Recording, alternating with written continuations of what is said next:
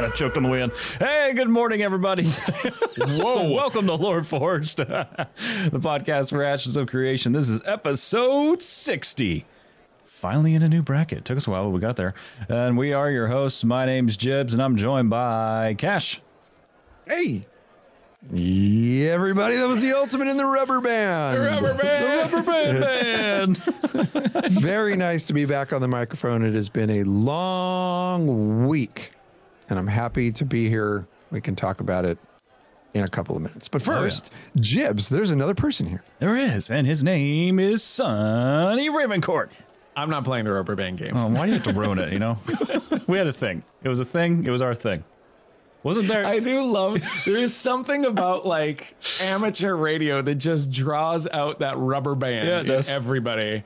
They Oh. they think that it is just like the height of radio personality. So I love. Look at Cash. You took it personal. I know he did. He really Absolutely did. love how you called me out. right Yep, there it is. There's something about you. You could have stopped at amateurs. Something about Something about working with amateurs. amateurs and uh, rubber band. I can't quite put my finger on. it. Yeah, you are not a professional. Stop rubber banding. oh, boys, it's good to be back on the radio waves. Feel like it's been forever, but it's just been a week. Yeah, It's Has it a week. only been a week? I guess we missed the one the week before that when we went to uh, Tennessee. So Yeah, that was the one. I think it's because we did, we just had a busy week, right? And like, Yeah. I mean, it was a jam packed week for me. And admittedly, admittedly, I woke up this morning. I was off today. I had some stuff to do, so I woke up this morning, got all the stuff done, which I'll talk about here in a second. But about 30 minutes before the show, before the show was getting ready to start, I was editing a video, and I literally had a holy crap moment and went, "Oh my god, we have a show in 30 minutes." so like looking at notes and getting my getting my stuff ready, but um, so literally I just got done. I started eight o'clock this morning, and I did eight and a half hours of um, cooking and filming for the Halloween version of the Verran Chef. Oh, it man. was crazy how fast the day went by today. I was having a blast. how good does your house smell right now? My house smells amazing. It smells like meat. I'm not going to give it up because th- this one's really fun, you guys. I'm not going to give it up, but I will give up that I started drinking tequila at nine o'clock this morning. Yeah, I sussed that one out on a text message. Yep. Yep. When I get when I get like super cheesy on text messages and tell these guys, I love you guys. Oh, yeah. is so much fun. I love doing this content with you. I'm usually drinking one of these glasses that are full. no shame. Uh, zero shame. Tequila, you went tequila, huh? Yeah, tequila. Like yeah, tequila sunrise. Almost. Oh. Almost exactly. Because I started at 9 a.m. My wife left. My daughter was. My daughter went to work, and I was just getting stuff ready, setting up the the set, and getting my cameras all where they're supposed to be. And I went, you know what? There's no better time than right now to start drinking on an empty stomach. So I did. Tequila Sunrise has a very, very warm spot in my heart. That is one of my favorite drinks. It was one of the first drinks I remember um, a guy made for me. I was working as a water ski instructor uh, at a. Uh, Of course you were. at a resort and I went to a party and this this uh, older guy who was also a water ski instructor is like, "What are you drinking?" And I'm like, "I don't know." And he's like, "Let me make you something." And he made me this drink and it was a tequila sunrise and it's just like, oh, you know, and like a cooler older uh, like dude that we work with does something nice for you and it just it just lives in it for free rent free in my head forever will be tequila sunrises. So I Very do love me a good tequila sunrise. I the love the the party had the guy you- had a booth from an old McDonald's. Do you remember when McDonald's had those hard booths? Yeah. And they had like the padding, the the rounding padding around. He- the dude had one in like his apartment. So it's sitting at this booth in like an old McDonald's, and he brings me a tequila sunrise. I was like, "This is the coolest place ever." Oh is, man. Uh, is anybody else gonna let it get by that Sonny just revealed yet another job he's had in the past, and that is one of the water ski instructor. I've done a couple things. I don't know. Dude, My God. can you dial it in a little bit? Like, I see why Kel puts limits on you. Like, I get it now. Used to, I thought, like, wow, put limits on him. No, I get it. I mean, that boy needs that leash. Kelly ain't home. Cheers. Again, proving that you are the most interesting man in the world. Oh. I love the I love Death Keeper's comment. Did you ever do the pyramid water ski trick? I did not ever do the pyramid water ski trick. they stopped doing that in 1955, I think. Oh my Good gosh. reason when they died trying to do it. well, thank you again, everyone, so much for uh, hanging out with us here today. We are recording this live, by the way, over at Twitch, and welcoming everybody to Lore Force Live. Appreciate you all for being here and all your, gosh, your kindness before we even started. Oh. Just blew up the subs and everything. We got fireworks going off, and Hootie was freaking out. Sonny was dancing. Cash was running through the house naked. I mean, like it just accelerated to a thousand. In a He was matter on of- fire. Hootie caught fire. Hootie stabbed the guy with a trident. Who's probably wanted for murder. But uh, anyway, thank you so much for push and play, hanging out with us here today, gentlemen. We are mere days from Alpha Two, mere days away, and we have a pretty many days? Uh, se- eight as of this recording. Seven days. Seven? Is it Friday, seven? right? Yeah. Is it seven? This thing comes out on Friday. Yeah. Yep. Seven days, baby. One week. Holy guacamole! Look at that. Well, been- this week on the show, we're going to be talking about updates for Lore Forged. It's uh, we have a look. We have a full show, top to bottom. We may go over. I don't even know what's going to happen today, but we got Lore Forged updates, something that we have just released that's been in the works for a very long time, and we're excited to unveil and tell you all about it. Uh, we have an Ashes of Creation website update. We've got the next dev update announcement. Steven Sharif going around the bend on his interview tour. We're going to focus in on one of those interviews specifically and have a little bit of a roundtable. So, uh, gentlemen, we have been working on an update for the the Patreon thing. And let, let me just clear the air real quick. Like, we're not real good about talking about things that people pay for. Like, we're just not. It makes us uncomfortable and cringy. But we wanted you to be aware of these slash tools slash resources that are really cool. And uh, we've been working pretty hard over the last few months to really add more value to that Patreon, particularly the second tier. And um, Sonny, you did the video. You want to take it away? Oh goodness. Okay, so yes, and JB is is absolutely right on this. Like, uh, this is not. We're not like. We're not salesmen. Although JB Comfortable ones. is a salesman and has been a salesman, uh, but like none of us really love asking people for money. And so No. when when we decided we would do a Patreon, like we really really want to make sure that everybody can enjoy the Lore Forge content that we have uh, for free, right? So we have the show we do the show live on twitch when i do my daily shows there's like it's it's free right the podcast is free everything is is free one of the things though is that we are suckers for really wanting to make our show look fantastic and that sometimes does cost money and so people have reached out and said like how can we support you and one of those ways is through the Patreon. So we we we started with a a, a simple Patreon, uh, a, a tier one Patreon, and we gave you know uh, what we thought was a very good value for that. It's there's a channel for it. It's the Happy Hour channel. You get everything early, and we give you a bonus podcast once a month.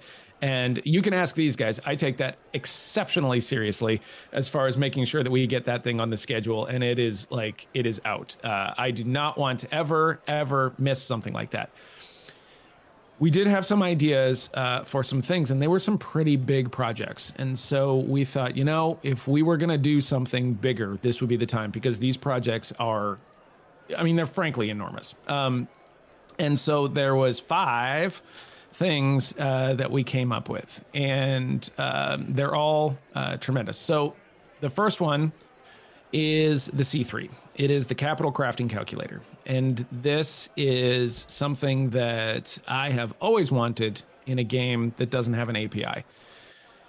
If you don't know what an API is, I don't actually know what API stands for. I've never actually learned that.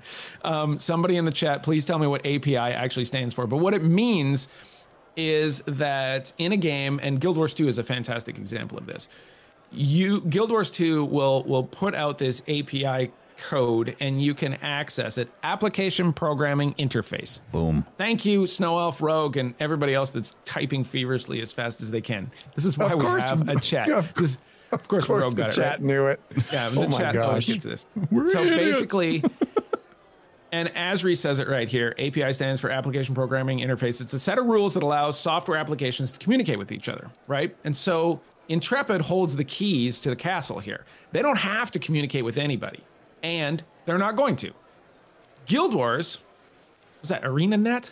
Yeah. ArenaNet? Yes. ArenaNet. ArenaNet decided, okay, we're gonna we're gonna broadcast this through an API, and so they gave everybody the ability to see what was actually happening in the economy in Guild Wars, and so people could pull that information, just data mine that information off of a feed, and then build things like websites that would show you the current prices for everything that was for sale in all of Guild Wars. I mean, it was just like the whole game was available for people to pull that information out and put it on their own websites, which is cool.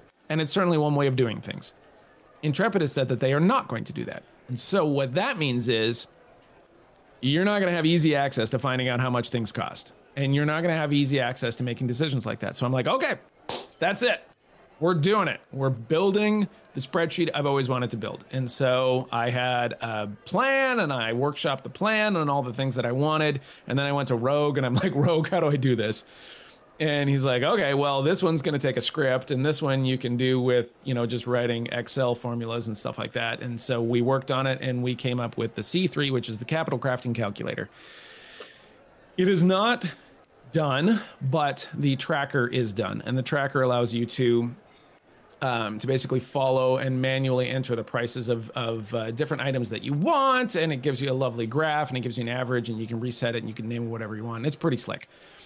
As the game goes on, and actually as I get into the game, then I will continue to update this and it will continue to post onto the Patreon account. And I'm calling them like deployment models and there's I made a video on how to how to do them all and everything like that and uh, and I'm just really excited about this whole thing. This is going to be a very big thing for me. It's going to be a ton of work, um, but it's going to be cool, and I've I've really enjoyed it. And even this like this last week, just going into New World and just churning money has been fun because I remembered like how much I love MMOs just just by being in one, you know. So it's been a long time. Number two, Hang on. Well, hang on. I don't want to Okay. over. I don't, I don't Okay. want to. I don't want to undershadow this because you've put a lot of work into that into C3 and what this is going to mean for a lot of people. It's a really cool tool. Yeah. And I'm I'm very like I'm very proud of you for putting in that work and thank you to Rogue and the other folks who've helped and it's just it has been a really cool project to watch from the outside. I don't even know how to use it. I don't know how to use it. Okay?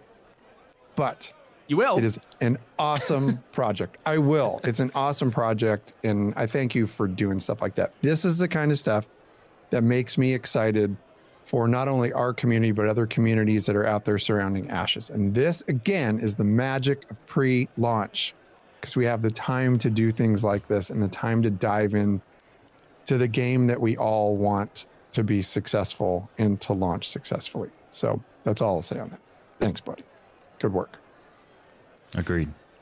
Thank you very much. I, I guess like uh, the the thing is this: like the de- the first deployment model is just the tracker, and so people might see this and be like, "Oh, it's a tracker. That's cool."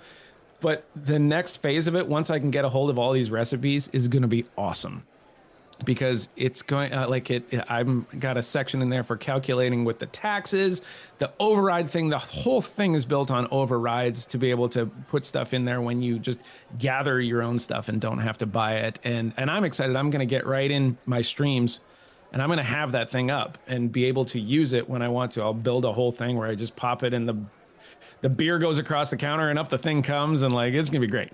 So I, i'm very excited about it. It's just it's a lot of fun to to do something like this. And man like the community here like i would never be able to do some of this stuff without rogue. Like rogue has just been so good with that. So big big thank you to him on this thing. Like the script for the tracker is just wild. I, I could not have written that. The rest of it, I mean, he's just he's a great sounding board for it. It's a great Number economy two. tool. Oh, it's gonna be fun. Mm-hmm. It's gonna be fun. Yeah. Um, and now there are some other people that have built some stuff too, like Daedric. I, I Mm-hmm. Yeah. don't want to overshadow that. Daedric came up with a tool that is it works in a little bit different way. Like my tool is a very individual tool for you to use uh, throughout that, but um, Daedric's tool, uh, his intention is to have like the whole guild entering information for different zones and stuff like that, um, which is a, a little bit of a different user experience. Um, but man, he went ham on that thing. Like he he got into Python coding and all sorts of stuff. So there's there's a there's gonna be a lot of stuff out there. There there really is. And I'm not saying that my thing is the best thing. I'm saying that what it is is what I would want. I built it for me to help. I built it for me, sharing with you. I'm Right. Sonny. It's like for me. Though, right? Like Steven built Ashes of Creation to be the game that he always wanted, Yeah. right? Yeah. And I mean, and and and who doesn't love that? You've got a guy that loves a thing, and he built the thing that he always wanted, and that's kind of what the C3 is. Yeah, it's a great So- economy tool for if you're into economy. That's a definitely the kind of tool you're going to want to look at. And I also know Cash was doing a little something too. Number two, cash. Take it You want away. me to just explain? You want me to explain your thing? Come on, you can do that. Okay, no problem. so, talks for free. um, something that uh, that I have been interested in for years and years and years and years is uh, is health and fitness. And um, years ago, I started a project that um, I was not able to finish. Over the last uh, few months, I've picked that project back up uh, here and there, and have made a lot of headway with it and it is uh, quickly becoming well it has become something that uh, that i, I kind of want to get out to the people. And if you have interest in it then it's awesome. If you don't then you don't. Anyway uh, health and fitness has been a huge part of my life. And um, i was able to do a lot of research on my own. And uh, let me just throw this out there. I am not a doctor. I am not a nutritionist and I have spent a very short amount of time as a fitness coach, very short amount of time. But um, I I have been working on this project for for the last few months now, and picked it back up, and I have written a book. So that book is called The Adventurer's Guide to Health and Fitness. It is going to be an ebook. It is in the flavor and written in the style of the way gamers will understand. It is written for gamers for the most part. Uh, if you're a fantasy gamer, if you're a fantasy book reader, if you have found yourself uh, sedentary, m- maybe let yourself go, this book is written for you. Um, and it- but you know the thing is one of the big things that I that I really push in that book is um, it, it takes commitment and consistency. So if it's something that you're interested in, it will be available on our um, on our second tier of our of our Patreon, and uh, it'll also be available at a time outside of that. I'm in the um, in the editing mode right now, and then it's going to go into ebook format, and then it'll be ready. So I'm anticipating here within the next month or two that it will be a product worth reading if you have interest in that. So we decided to make that part of the the Patreon. So I'm looking forward to it. It's Oh, yeah. been- This is gonna. This is gonna be coming. good. Yeah.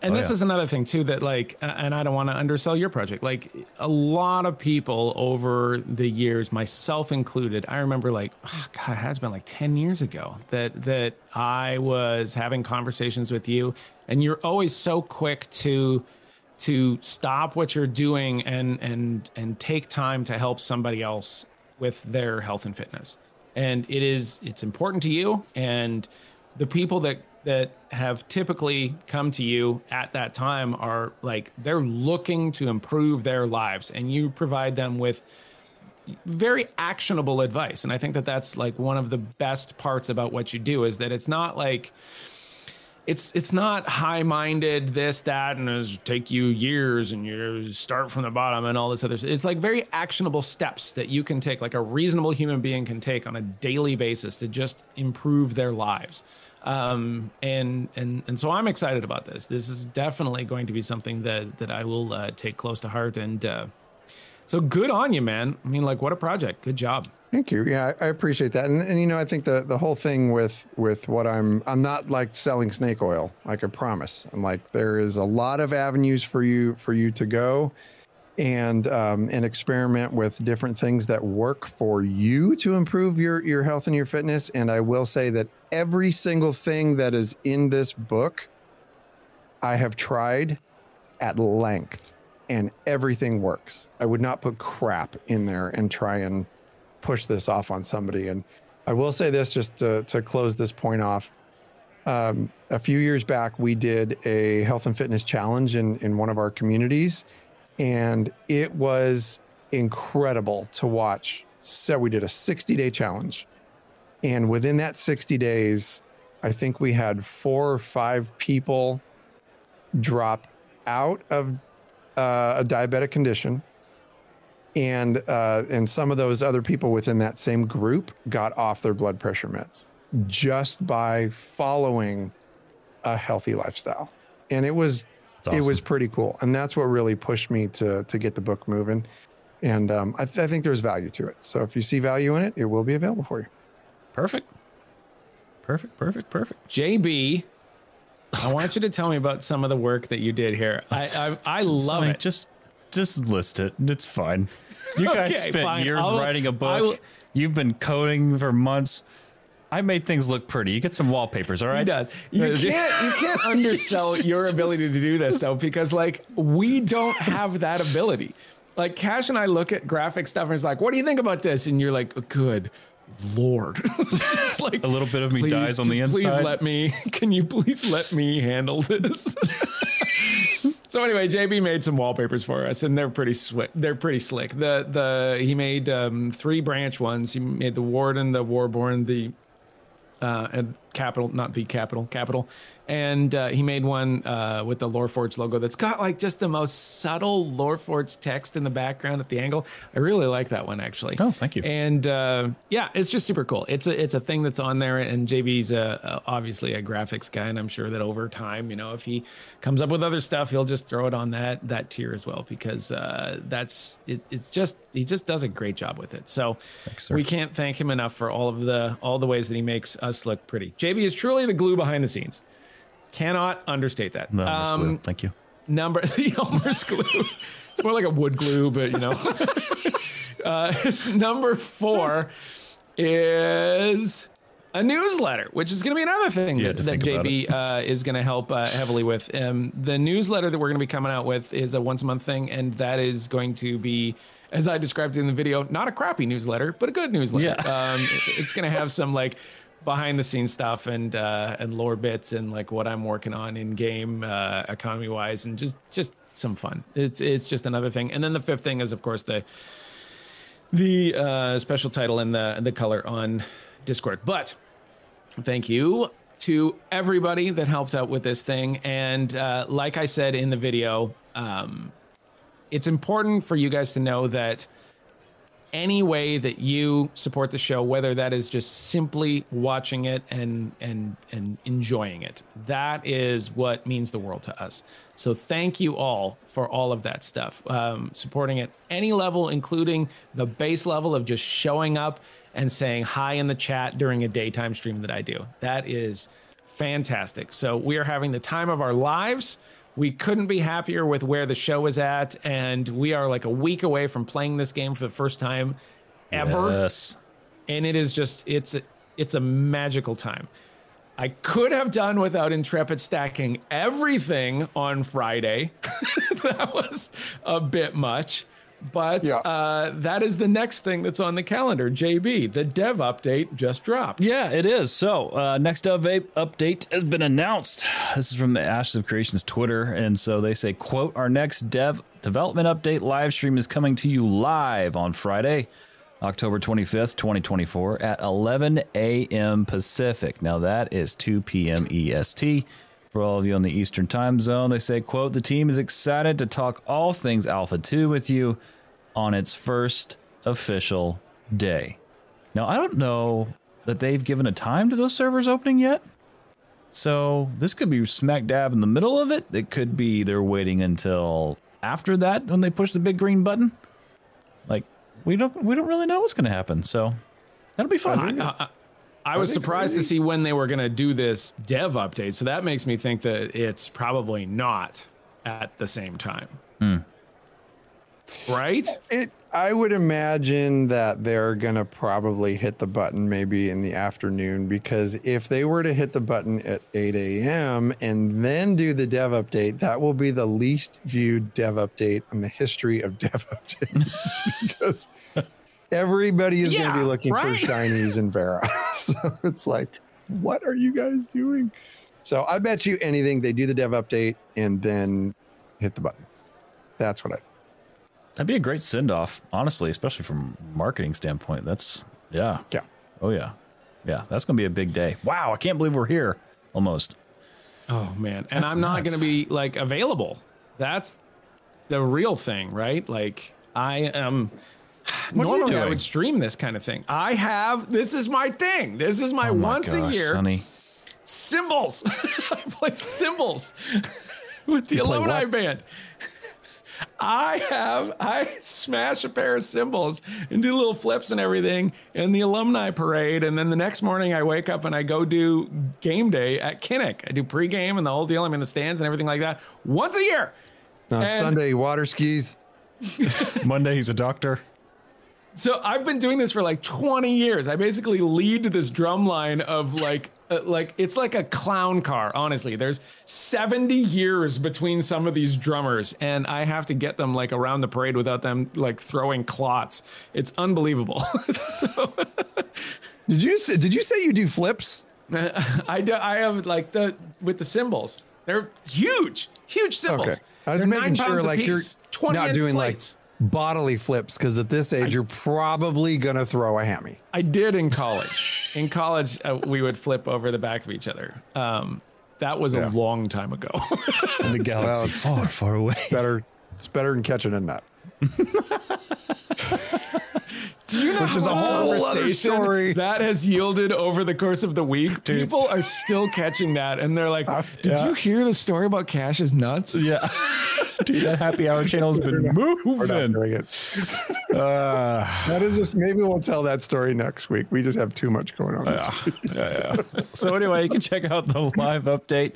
October 25th at 11 a.m. PST. Guys, I think probably one of the biggest things to come out of Ashes of Creation this week aside from the interview tour that Steven's been doing, and of course the dev update, is their website update that they did. And this oh, is the oh, first yeah. time we have seen this from Intrepid. Uh, well, I think ever that we've seen it. I know uh, I'm just kind of roll back, uh, roll the tape back a little bit. Cash, when we were here in 2021 with Lore Seekers, it was the same site. It was the same thing. And so this is all we've ever known. You know, fast forward to now. This is all we've know. This all three of us know. And seeing the updates that they made, they added. Do you guys see the Tulnar lore edition? Yes. Uh, oh, you stole my thunder. That was exactly where I was going. take it, take it, baby. Tulnar. Have you seen the Tulnar? I have. I actually have.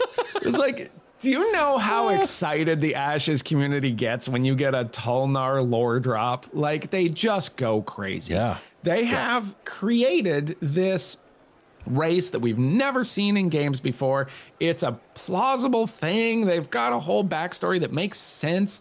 They're tribal, they're living in the underground, like they're they're this whole thing. And then you you you see this drop where they just they they have pictures and they they lay it out and and cash i just want to go to you on this one like when you saw that kind of thing does that not just like warm your little lore heart that that you're starting to see this kind of stuff? It does and it, it excites me very much because uh, for for years Steven has said that uh, they're keeping lore close to their chest and he and uh, he really wants people to experience the world that that he's built. I mean if you think about some of your favorite books out there right? You think about Lord of the Rings, you think about um, the Wheel of Time series, and um, the uh, just the Forgotten Realms, whatever you're into, right? Uh, within fantasy or sci-fi, all of those stories started with world building. And that is w- exactly what Steven has been doing, um, what the team has been doing. He's taken this idea and then allowed people, the agency, to just build for him and build along with him with his vision. And it's now at a point to where they are on a almost on a regular cadence now. They're starting to drop um, just more tidbits of lore. And these are the things that, that we are personally very, very into. Uh, so to see this thing about the Tulnar was was just very, very happy. For let me, I'll start with the site, right? The website to me is is gorgeous. I, I really love the style that they went with, but you usually see this when games are starting to get on more of a release footing and that is, I'm not speculating anything about release, right? There's a long way until release, but I would be very surprised if the website doesn't even go through yet another iteration before the actual launch. But what this is doing is it's going along with their schedule of progression and evolution of what Ashes of Creation is to become.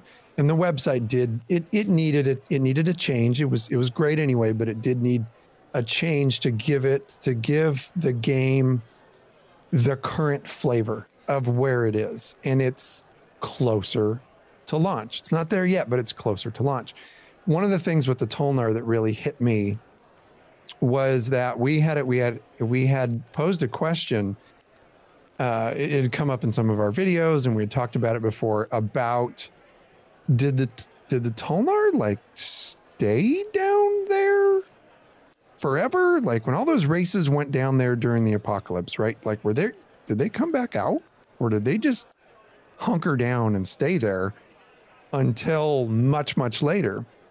And this lore on the Tulnar actually answers the question. It says mysterious magical words throughout the massive caverns sealed them all underground until the divine gates reopened unexpectedly. And I assume those magical words faded out and allowed them to leave. There's so much to that, even beyond the Tulnar there. Like you're talking like what was yeah. going down on Verra. It's talking about how the ancients ravaged the world above. Like so we know that was going on. And you have and, and you know to kind of go off what you're saying, the part about this that really shocked me the most with the Tulnar, I really thought that they would be and um, Richie, Richie um, on uh, on Twitter. Uh, we're, we're kind of going back and forth. He was shocked as well. We really thought they'd be a little bit more. Feral's not the right word, but a little bit more like visceral, the way that they act, maybe because of the way that they look. But you know, really, right off the bat, they talk about how they're united in one crucial belief that corruption must be fought wherever it creeps. I mean, like, in that they're refugees that not only survived but thrived you know, and they really just kind of have that whole tribal. It and honestly, in a lot of ways, this reminds me of the horde, banding together to survive and make your way through through the world. Well, I mean, but really think about it too. They're children of corruption, so yeah. it makes plenty of sense for them to to be driven to fight it. Right. Uh, one of the other things too that makes you think of the horde is that um, the the basis of the Tulnar has always been tribalism. Like they are a very tribal culture, and so right. know, a big Tulnar city was a surprise when we found out that that was uh, maybe a possibility, because you don't think of like tribal stuff as having a big city, but then you know you have the Horde and you have places like Orgrimmar, right? Like those are tribal cities, and and they get together and and and it's it's just kind of an interesting thing, but that is is certainly something that um, that I was very surprised with too. Like that explanation of why did they stay down there so long? And the answer is they couldn't get out. like they were sealed in there. Yeah, like, it oh. almost it almost reminds me, it almost compels me to believe that the goddess of creation, when she made those portals and realized that not everybody got out in time, she sealed some of the people who who took some of the races that took refuge underground. She sealed them there almost like um like a like a fallout type deal right? Where they're yes. sealed in there like that. This is your new life. You do not go topside everybody in chat done. and me and we all had the same thought at the exact same time. It was like, this is Fallout. It's Fallout, or, or what was that? Um, there is there's a great series on Apple TV, Silo. Silo. Oh. Fantastic series. If you have not seen it, it is excellent, and Good it is the it's the same the same type of thing like Fallout, but they're they're not. It's not necessarily in a vault. They are in a silo that goes like straight down into the earth, and that is the life that they know. Like there's there's a whole society and hier- and hierarchy and everything under there, and um and that's what this really leads me to believe that that is what the Tulnar experienced over millennia when they um when they evolved down there. So I, I like it. It makes the race way more interesting to me Yeah. to watch. Do you think that there's going to be like, and this is going to get a little dicey, but like almost like Tulnar racism? Like, can can you imagine if you're the elves running like this university and stuff like that, and you have these Tulnar showing up? Like they they are different. Like Right. the Tulnar are culturally different. They're physically different. They look different. They are they have been underground for God knows how long. Like they're very different. And I wonder like in game how they will be treated from like a lore standpoint. Are they going to be treated like they're different or is everybody kind of walking through the portals being like the first day of high school when you don't really know anybody and you're like, "All right, well, hey, do you want to sit together at lunch?" Well, yeah. I mean, could you imagine Jibs sitting down with because it, we have definitely experienced over the years in playing these games exactly how racist elves can be, like Yes. insanely racist. But could you imagine this snooty high elf sitting down uh, to some community dinner or even like some kind of a town hall, and a freaking Trandoshan walks in? takes a seat at a stool in the corner and just stares with their little tongue. Old lizard. yeah, I think uh I think there's uh Sonny, I think that's I think that's a good point. I think you're probably going to see that because we know that there's some conflict already with the families that have come through, particularly at the um the Aelin, uh one of the Aelin portals that they came through. That there's already drama between families, between, you know, starting off. So I can't imagine a world where you, if you have rich snooty folk coming through the portal and the moment they first time you know the first time they see a, a seven foot tall dragon-esque human being wrapped in bones and horns and glowing eyes is going to go well Yeah. so i think it's going to go both ways i like the part in the lore where it talks about how cautiously quote cautiously they return to the surface to greet the other nations as they arrive through the archways keyword cautiously I don't think all are going to be super happy, you know, so that's going to be fun for a narrative. I think that's going to be fun for story angles. And Cash, you're, you're not kidding, man. Like, this really makes me way more intrigued on the Tulnar. Yeah, I think uh, I think they need to needs to be part of their kit. They need sunglasses. For when they Sunglasses. come out of that hole. Yep, it's gonna be a little bright right off the bat. Hey, my God, my prescriptions. Yep. Yep. Put on their Uh, wayfarers. It's that big ball of fire in the sky. It's Yeah. bright. it's been a while. Wear, they're wearing their their big old geriatric glasses. I think of like the eclipse ones where it's just like a slit in the middle. Yep. Just got their eclipse sunglasses on. They're like, oh, my gosh. welcome awesome. to welcome to Topside, lizard. Look at the size of those cockroaches. It's like a Fallout.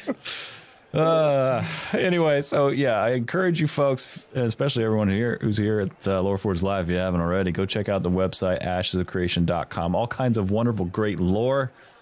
And now it's truly matched the progress of the game. So, gentlemen, the main part of the evening. Steven's been doing a, a heavy interview tour and it's been awesome to watch. So, Steven's been making rounds with various content creators, including Vladis Gaming, Yokai Theater, DA, and Mick Stackerson, Theory Forge, Voices of Verra. I th- think that's it. I don't think I missed any. If I did, I certainly do apologize. But he's been bi- he's been a busy boy. yeah, holy cow. Right. And you said it the first time when you saw him, you're like, he looks tired. And i felt bad because i think it was actually the lighting. Like he didn't have the greatest lighting. And when you have like dark lighting your, your Yeah. eyes look like black and Right. stuff like that. I'm like oh my god he's dead. Like it's not dead. All the die. red dimmed from his eyes. i know. Yeah the red went out. It's like the terminator. Um, but yeah like he has been uh, this is awesome. Like we all agree that it is fantastic that you have a guy like that that is willing to go on all sorts of different shows, big shows, little shows, stuff like that. The fact that uh well you guys, I mean you guys can attest to this. You guys went through the whole experience with uh, New World and with ESO and stuff like that. And there are certain companies that are that that base their time from a very efficient standpoint that like look um, we're not going to go on a show unless you have x number of people that are going to watch it. And that is absolutely not the case here. You just definitively cannot say that Steven is not willing to put himself out there with uh, with even the the smallest newcomers of of content creation. And that's spectacular. Cash what do you think about that? I think uh, I think it's not a case of him being willing because I think Steven would talk to anybody about his game if he's given the chance. And it, it's very obvious in the way that he presents aspects of his game, the game overall, his passion for the project. I, I truly believe he would talk to anybody off the street about it. I think what this shows more is Intrepid's dedication to the folks who who they know really love and care about their their project now early before the game is launched. Um, and we've talked about it before too. And you know there there will be times where um, small creators like us is not uh, we we're not going to be the focus. We're small creators. We don't have thousands upon thousands of people watching our stuff all the time. And that's fine. This is where we, we're very comfortable here creating the things that we want to create do the things we want to do. It's probably not different for many of the other small content creators but there will be a time when Ashes of Creation will be on the world stage and it will be uh, showcased with a lot of the larger streamers. I do not do not blame them for making partnerships with people like Asmongold and Lazy Peon and Pirate and all the and all the other folks that are out there that are that are showing massive numbers. That is how you get your game out there, regardless of whether or not um, the feedback is good or bad. Of course, they're looking for that good feedback, but any press is good press. So I think I think rather than uh, you know just to wrap it up, rather than Steven talking about it, being willing to talk about his game. I think it's more that they are they're they're willing to show that there there is some loyalty for the people who are here early and are are dedicated to getting more eyes on the game. Yeah, I mean, I mean, marketing's marketing, right? Marketing's good. It's a good thing. So it's good he's going out and doing this thing with his current creators and um and in the space and and I love the fact this just screams community to me. Like this is, you know, kind of like Sonny you were saying that you know there's other companies that they wouldn't even bat an eye to look at you, let alone, well, what's your listener viewer count? Oh, what's your Twitter or X follower count? Oh, okay, maybe not. You know, but here with Intrepid, no, they, they don't care. No, and and it's been very it's been very good, and and this is going to take us into the next segment here. Uh, first of all, everybody did a fantastic job on their interviews with Steven. Everybody was was great. I watched, and this is awesome because Vladis just rolled into the chat here with his little army of Vladites. welcome in, buddy. Perfect timing, buddy. Perfect Perfect timing. time. We're gonna 'cause talk I'm about just you. gonna gush. I'm just gonna gush about this because I told Vladis this that I think that his interview with Steven was the single most informative piece on Ashes of Creation since Lazy Peon. I truly believe that. I'm saying it here on my show. I would say it on his show. It is a spectacular it is a spectacular interview because Vladis has been for better or for worse waiting for a long time for this one. Um, he he has been preparing for this interview for a very long time and it shows and he loves to crowdsource the questions from his community and his community is very knowledgeable. We have uh, we have a fun community that that likes our style of things. His community, those dudes have got neck beards on neckbeards. they know this game. They know this game better than anyone I know. And and the questions that they came up with were were very very good. Uh, and so he was able to ask a lot of questions. But um, JB, I'll, I'll I'll I'll just ask you this. You've been with him. Like you understand that when he's asking questions, every now and then he sneaks in a just a personal question. That was nice to see Steven have uh, like a little bit of personality in there, and you let you, you see him. You see Vladis let him be himself a little bit on on moments like that, and and there's a level of trust that just immediately gets established. So I really enjoyed that part. Yeah, first off, I just want to congratulate Vladis because Vladis is hands down probably one of the best interviewers I have seen in a very long time. His skill at navigating the conversation, you know, it's it's like a dance, and he dances very well with whatever guest he's he has there on the show. Um, you could tell he's taken note from from um, heavy hitters from podcast uh, podcasts present and past in the way that he does his show. And he's just constantly progressed and gotten better and better. And he earned every bit of that interview. And that interview was probably the best interview I've heard in a very, very long time, if not the best interview I've heard for Ashes of Creation with Steven Sharif. Incredibly informative, enjoyable. I can go back and listen to that on repeat. It was just chef's kiss from top to bottom, man. I mean, it was just fantastic. And like, yeah, I mean, Sonny, he navigated that so, so well. And I'm gonna be honest, I'm super stoked for the guy. Proud of him and stoked for him because that was just awesome. Yeah. Just awesome.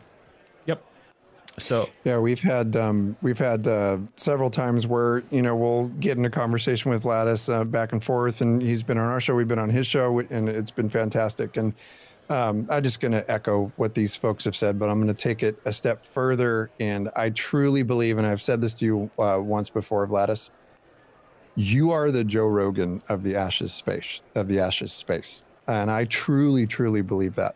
It is an art um, to have the ability to sit somebody down and put them at ease. And Steven's a pretty cool cucumber anyway when it comes to uh, to talking about his game and stuff. But the way you got him to open up a bit and and uh, I mean, dude, there were more nuggets in that interview. Again, like there are more nuggets in that interview than than we've seen in a long time. So anyway, buddy, you did a fantastic job. It was very well deserved, and uh, congratulations because that is just so much fun to watch. Oh, it was yeah. it was flawless. Great flawless. And, and we was, found out that Steven plays Dota. I know. yeah. I uh, instantly went to Dota. free time. Yeah. Yep. Yeah. I thought, no kidding, Dota. Wow. I just, just he's, he's probably the guy typing the most, like you yeah. suck. I know. sucksers. That's all I was thinking was like, oh, I like to chill out, you know, with like a glass of wine and maybe one of the most toxic games ever made. so that's how I like it. Oh, I don't know about yeah. you. that's awesome. That's awesome. Well, we thought it was such a good interview that we wanted to have a kind of dive into Vladis's uh, interview with Steven Sharif. So we're going to kind of do a little bit of a roundtable here.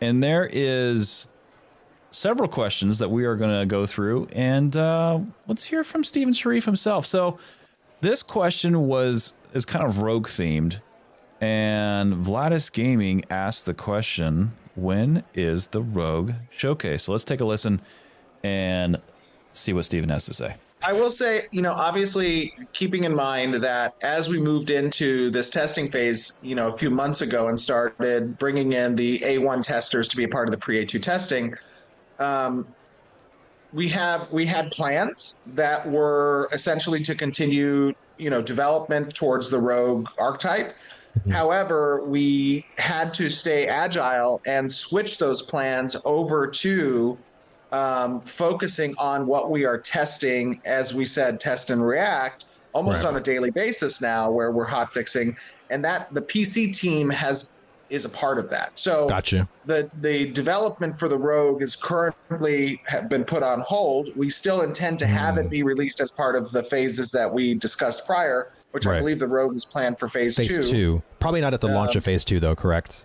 yeah, it'll probably. I would imagine it's going to be shortly after the start of phase two. Okay. Um, uh, but that development will continue once we are out of this kind of hot fix uh, test and react phase. So there you go, the Rogue Showcase on hold. I saw that kind of going around the community, and that's kind of the the questions I had pooled were things that were hitters in in the community space, and that was one of them. What do you guys think of the the Rogue Showcase kind of being on on hold at the moment? Moment, Cash. To me, a test and react phase is way more important than the release of a new a new class. Uh, that's that's base game stuff. So I also want to see the rogue very very badly. Uh, the I want to see how the um, and I know we're going to talk about it here soon too, but um, I want to see how the the rogue augments are going to work with my ranger. Um, so it's very important to me to see that showcase and see how that class is going to evolve. But I still think that base game issues are way more important, especially with Alpha 2 coming out. So I'm perfectly fine holding on the Rogue for now. Mm. Sonny? Yeah, I mean, this was like this. This was probably the one of the least surprising things I heard um, him talk about. Like it was the Rogue, right? Like we're not gonna get the Rogue until they can actually give it to us. And God knows, like all we've talked about is how much crunch these guys are under right now. They just need to get this thing done on Friday and Saturday and Sunday and just make it through the first weekend. So I'm not expecting the Rogue showcase for a while. I don't think that it's going to be something that like obviously I want to see it. I there's a there's a real world in which I main a rogue. But I'm not pushing this anymore. I don't think that this is a priority for me. I don't think it's a priority for them to be totally honest with you. They probably put this thing way on the back burner just to make sure that the boat gets away from the harbor at this point. Yeah. And I'm totally cool with that. You know, do what you have to do to get stuff ready. And I love the fact that they are on the flip side of it. I love the fact that they're willing to pivot when things need to pivot and they're not willing to put something out when it's not ready. Both of those things we've seen in the gaming space for years. Things going out before it's ready, refusing to pivot and doubling down on something that maybe isn't a priority, especially when you have the community screaming at you, screaming at you, whether it be Reddit, Twitter, comment section. I mean, when it's blatantly obvious what the community is trying to say and you're just refusing for that pivot. But in this case, I love the fact that Intrepid and Steven and the team there, they're willing to to move from something that may be important. You know, the Rogue being a staple in not only MMORPG space, but the tabletop space, you know, from a fantasy space for decades. So they're willing to kind of sidestep that just to make sure the quality is there and everything's up to snuff for A2 and beyond. So, yeah, definitely agree there. Definitely agree. So, this next one's augment themed, and the question came up when it comes to complete classes, will the augment system provide just quote flavor, or will we get transformed abilities into something new? Let's take a listen. I think there's a wide spread of how each ability has the potential to be augmented when we implement the augmentation system. Right. I think that I think that even in eight, the start of A2, without augments present, you can see the direction that some of the passives Right. have influence over your abilities. Like the base talent tree, right? Exactly. Mm-hmm. We've shown that um, the way we've constructed in a modular way our ability system, we can drastically change an ability's effects. Uh, and we will translate that over to augmentation as well and dial it up. So um, it's not just flavor. It is it is fundamentally the potential is that some of these abilities fundamentally change. That's awesome. Um, however, it's also capable that some of its flavor changes, but that's left in the hands of the player. How do they want to either stray away from their original archetype, or how do they want to change some of the flavor of it? Like that is that is the customization effort that the player gets to have some agency over. When we talk about augments, all we can say right now is what our intent is. And our Right. intent is to execute on it in a way where it doesn't just feel like eight archetypes. right. So whether or not we land that intent is something people are going to have to wait and see. Um, uh, but know that our work is to ensure that it doesn't just feel like eight archetypes. Wow, Sonny, what do you think? Yeah, uh, it's funny because like he he answers the question in a theoretical way because that's all they really have on it at this point.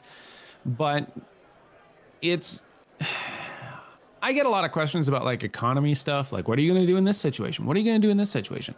And a lot of my answers to it just boil down to my economic philosophy in games because that's all I have right now to be able to say. It's like my philosophy is like low inventory, stay nimble, like spend your money gathering early and stuff like that, right? Like these are philosophy type of things because you don't have anything. He's in the same boat with augments right now. He doesn't have anything, but he has a very good idea on what he wants to build. And he has a good philosophy behind it, and he wants to make sure that he gets there. Now, he said himself, whether or not we land that is a future me problem, right? As of right now, all I can tell you is what we intend to do. And honestly, that's good enough because I think that a lot of people, myself included, have said this is an eight class game with flavor. And that's what it is. And he's like, no, I don't want to build that game. I want to build a 64 class game. And I'm like, okay, good luck. but I mean, he's answering the question, and that's the best that he can do right now is just show his philosophy on it. Cash? Does does it worry you guys at all that they have advertised 64 classes, right? Through the augment system, the eight archetype system can go to 64, meaning that you can build a combination of any of the eight archetypes with any with any of the eight archetypes for 64 total, right? Does it worry you that if they truly build this augment system to where it is not just flavor? I know he said some of some of the skills might just be flavor dependent upon how the player builds their class. But wouldn't you think that if a ranger went and hybrid with a mage that some of the ranger's bow abilities might look a little more magey, a little more arcane, right? Wouldn't you think that would be a reasonable thing to say? Possibility. Possibility, right? If that were to be the case, and there were truly 64 classes with augments that would give your particular class flavor, you, we are looking at about, say, there's 20 or 30. We'll say there's 30 skills per class. And now you take those skills and you augment them with another class's 30. You're looking at like 2,000, uh, possibly 2,000 animations that they might have to make different. That is a large undertaking. Very large the, undertaking. the numbers start to get a little mind bending, don't they? I'm I'm not even good with math. I might have totally effed that math up. But to me, that's 30 times 64, right? 64 different classes. And even if it's halved, let's say that I did screw the math up and it's just about a thousand. That's a thousand animations It's a lot. that have to look different. It's a lot. So I'm not saying that I'm not excited about this. I'm not saying that I didn't like the way he answered the question because I love the way he answered the question. But if it goes beyond just flavor for your class, that is the possibility that we might be facing with this. And even if, even if they're just small changes, there's still changes that have to be built into each hybrid character. So it is a little scary to me if that is the reality of, of what we're looking at, unless they're already well on their way. You know what I mean? So, and I don't know, like Sonny, it sounded like like you didn't think that they were that they were very deep into this system yet. No, and they're not. Uh, and and and Steven alluded to that. That like this is something that they just have not spent a lot of time on at this point. Um, I don't. I mean, like I get your math on that thing, but that's like in a perfect mathematical world where everything has to be unique like that. Like we're we're not making Hanna Barbera cartoons here, where Fred Flintstone runs past the same window over and over and over. but at the same time, we're probably going to reuse some assets on some of this stuff and some of that Right. flavor stuff. Some of these animations, some of these mechanics are going to be recycled in, in in various ways. So I don't necessarily think that you're going to get that pure mathematical individuality but you're not wrong like if if you if you want to take away flavor and make it meaningful it, it just inherently means that you have to put more work into it. Uh, that's the only way that you get past that. And so that's that's work man. And it is it is a big part of the game. It is not like a little system. It is a big system. So eh, i don't know. This is going to be something that we're going to have to see. He's got goals and he's going to push the team in that direction and we've been surprised by how efficient and how effective they've been before so maybe we'll be surprised on this one jb Let me ask you guys this. Would you be okay if the game launches without the augment system and it arrives within an update than the first year of launch? Ooh, Uh, it's, I know it's kind of a can of worms. Kind of sorry. I would be because I've said this is an eight class system, but for the people that disagree with me, they would not be okay with that. Sounded like I'm Runberg.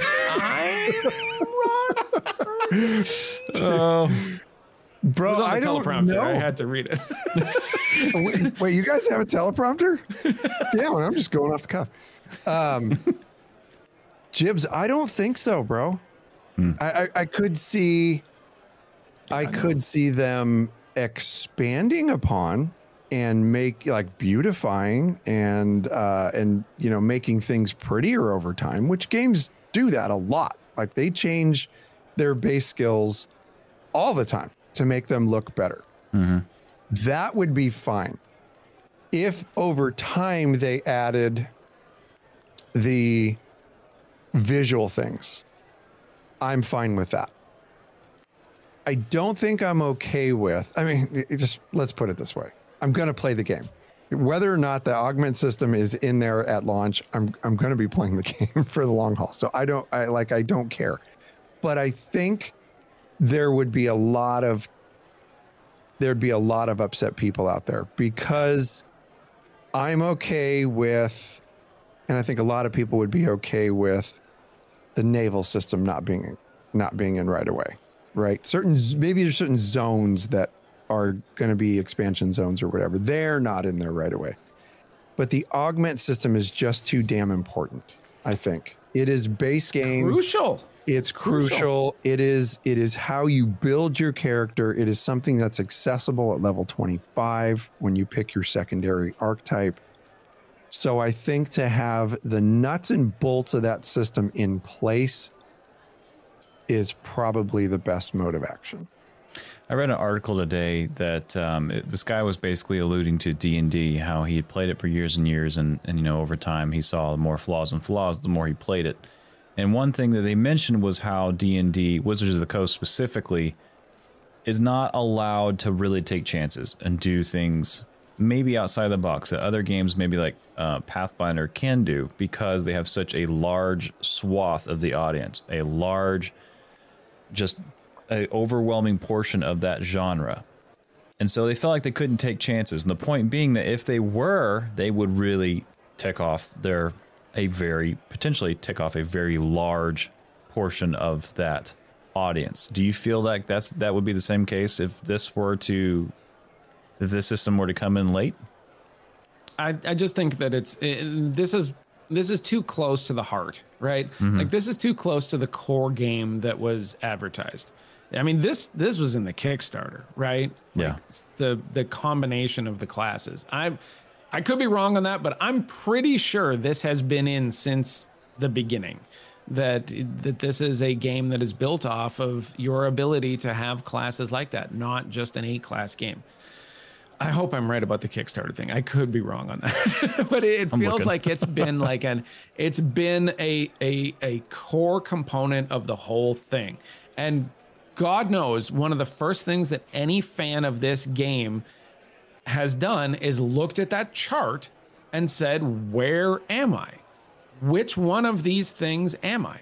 And it's it's it's just too it's just too important to not have at launch.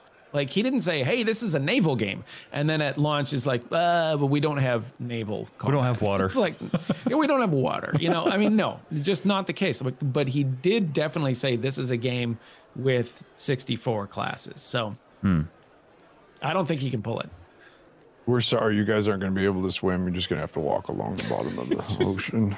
Also, you'll die. Hey, there's a game I know that they could use for a template off that. Uh, well, not, not anymore. but Not anymore. They added it. anymore. Finally, Yeah. good on them. Yeah. Good on them. good on them. Good on them. All right. So the next one is talking about leveling experience. How fast or slow will the leveling leveling experience be? Has that changed? Let's take a listen. Well, I mean, as you would expect, you know, we have a diverse set of opinions within the studio about it as well. Yeah, I'm Um, sure. My my um, my current uh, approach in balancing leveling through one through twenty five is a roughly one hundred hours of gameplay um, is what it takes to get to level twenty five. Now Wow. that is not a that is not a linear curve, right? Right, This is right. something. This is something obviously where we want to get players um, you know, on. quickly to let's say level 10 or level 15 or whatever, right? And then Right. and then it starts to slow down. You know, my idea there um, might be a bit more on the grindy side. This this is obviously subjective. Um, but but I think it ties in again to that risk versus reward philosophy right. um, you know it it it we're spreading out also things that can contribute to leveling. It's not all just through grinding right? There's quests there's artisanship there's you know gathering there's pvp like those things all contribute to gaining progression experience and there's a lot of different dials along the progression path that people have the ability to interact with whether it be their weapon level progression or their you know adventuring class progression or their artisanship level progression you know there's areas where players are going to be distributing that focus um, so yeah i think it's something that we'll collect feedback on from the community as well What do you think of that one, boys? Cash?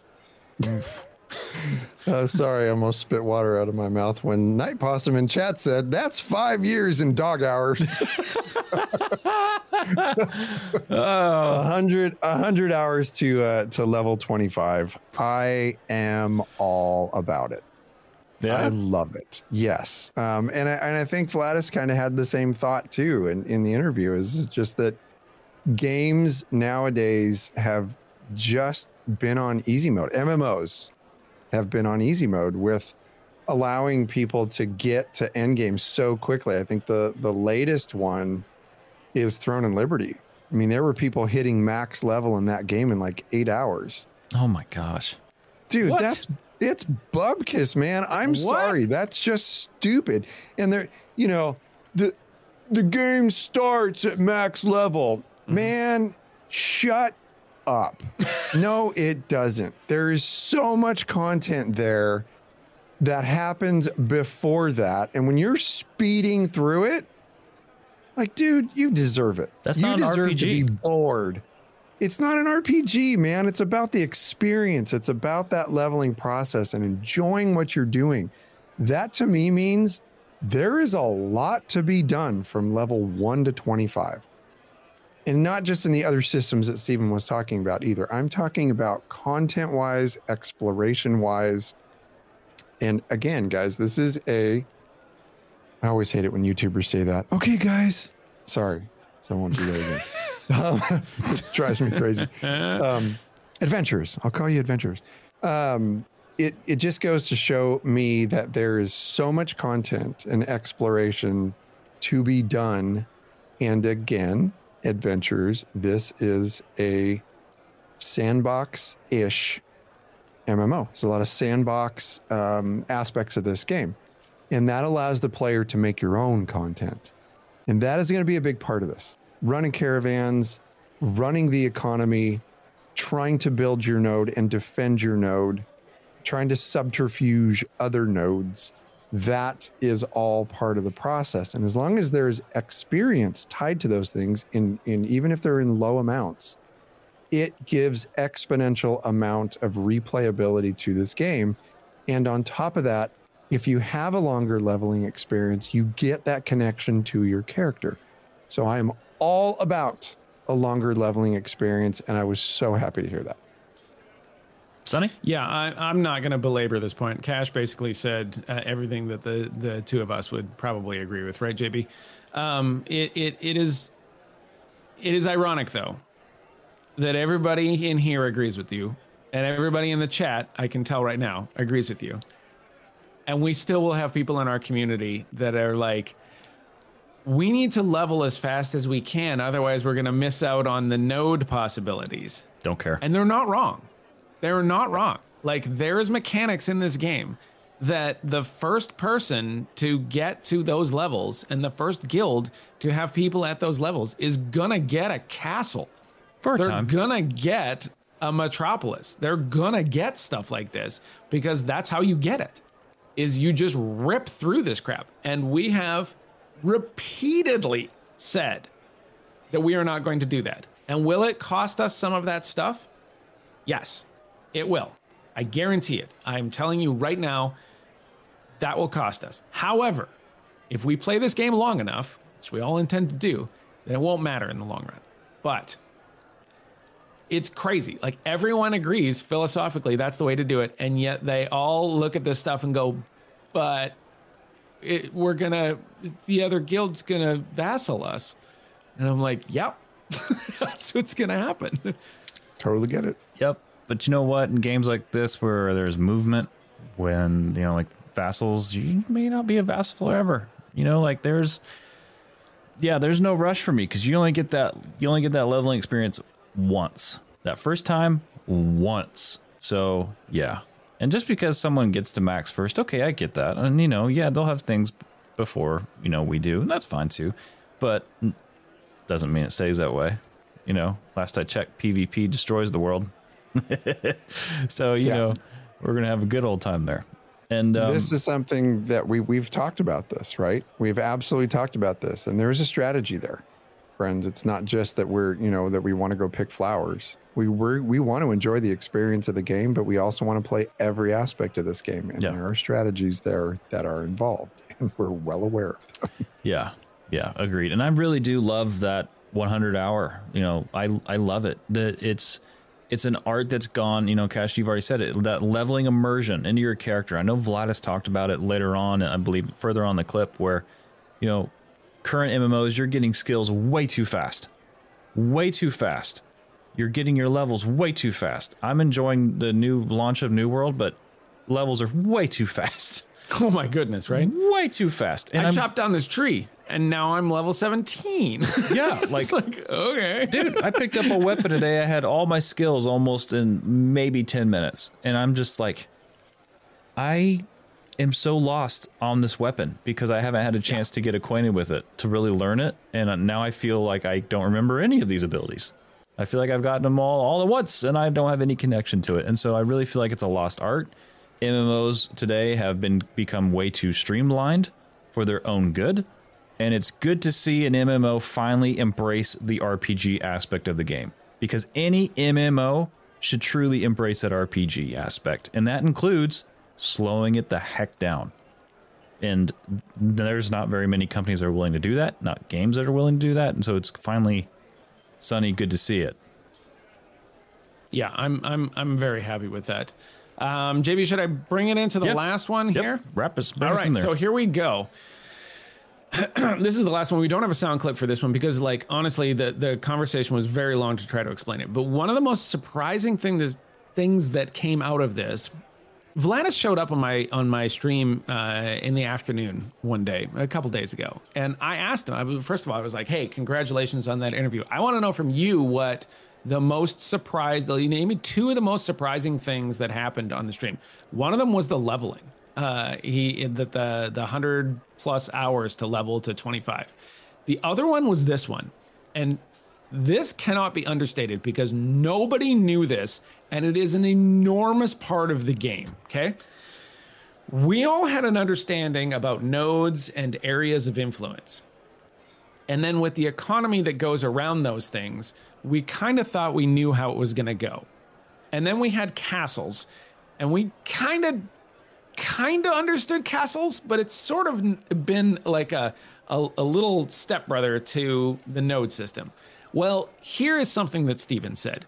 The question was, could I can't even remember what the damn question was, but like it, it came out about the possibility of having two metropolises that were close enough to a castle or something like that. And what Steven said blew everybody's mind. He said this let's say you start a node. Let's say the Black Talon Trading Company starts a node and it progresses eastward. Okay. We just keep expanding to the east and we keep getting bigger and bigger and bigger. And next to us is the Gold Talon Trading Company. they start on that node and they progress westward and they just keep getting bigger and bigger and they're vassalizing all that stuff. You could end up with two metropolises that are literally twin cities right beside each other. Right beside each other because that's how the game works. The castle system drives the economy. So the castle system is the economic region, and the node system is the zones of influence. So you could have one castle with two metropolises that are right underneath it. And think about that castle is going to be deriving a quarter of the income, I believe, from the nodes in its influence. If you had a if you had a castle that had multiple metropolis in it, that is going to be the most powerful point in the entire game. And that was Steven's point, is that not all castles are equal. That's not there are two different systems that exist on top of each other. That's insane. My mind just blew up when I when I heard this. I was like, "Hang on." Because I thought it was going to be like node, node gets bigger, almost like concentric circles, right? Where you end up with this big thing, and then you have a node way over there, and you get these big circles on the map. That is absolutely not the case. The nodes can progress in like very interesting shapes, and you could end up with the castles really being your economic uh, center hold on this whole thing. That was wild. This game Yeah. is the perfect representation of the infomercials quote, but wait, there's more. but wait, Yeah. And a little bit of this is your brain on drugs. this is your brain. This is your brain on drugs. Because like I I mean imagine the back end systems that would that would feed something like that. It's it's just insane to think about the work that has gone into something like that. It literally fries my brain thinking about it. But how awesome would that be to have this back and forth or maybe even a partnership for that area between those two uh, between those two metropolises, metropoli, right? In between that castle. Insane. If they were allied, right? At some point, something's going to go wrong. And now you have some insane subterfuge. You have some insane uh, backstabbing going on. I mean, it just brings in all of the Game of Thrones yes, precisely. This is Game of Thrones, play. right? It is, and it's it's a beautiful thing. We're going to be doing this, and at the same time, we can fish. Hello.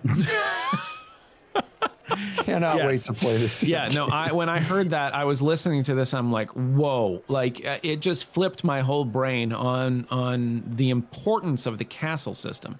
The castles, like people have been talking to me like, well, what is this game going to be driven around? And my answer has been for a long time caravans. Like caravans, I think are massively, massively important. If you can run caravans at will, you know, with whatever system you have set up to protect the damn things, and you're able to move that stuff, you're going to be incredibly rich. But the castle system, now that I understand just more about how it really rules over a lot of these nodes and sucks up all the money in that economic region, it is, oof, that is gonna be huge. If you can own a castle, man, you are you are winning. That that might be how you win an MMO. I don't know. I mean, it's it's pretty cool. Dude, you changed the map name to Westeros and, you know, a few different factions, and we pretty much have Game of Thrones simulator with with this MMO. Like it's Yep. just Yep. so vast, and it. Yeah, I'm not gonna lie. I feel like it just keeps getting bigger and bigger and bigger. I know. I want to be Tyrion. I want to be Tyrion. Am I too tall to be Tyrion? You're you're absolutely too tall to be Tyrion. Damn it. You also have your whole nose. That's a problem. I do. oh yeah, It's that's still there. That's true. Still there. I'm gonna, I'm gonna, I'm gonna side. I'm gonna take us off to a little side here. I want to see if you guys noticed something. And this is, this is a, a harken back to the website. We've, we've tied up this I feel you. amazing interview. Yes. Okay. Yep. Hats off, Can I- Gladys. Yeah. Yeah, Gladys, Gladys, you, buddy. you crushed this, Well man. done. Thank you, thank you Well for done. providing us so much information to talk about, brother. It Whole was show. amazing. um, w- in regards to their website, did you guys notice that the three-word explanations for each race have changed? Oh, not for all of them. I didn't realize that. They have changed.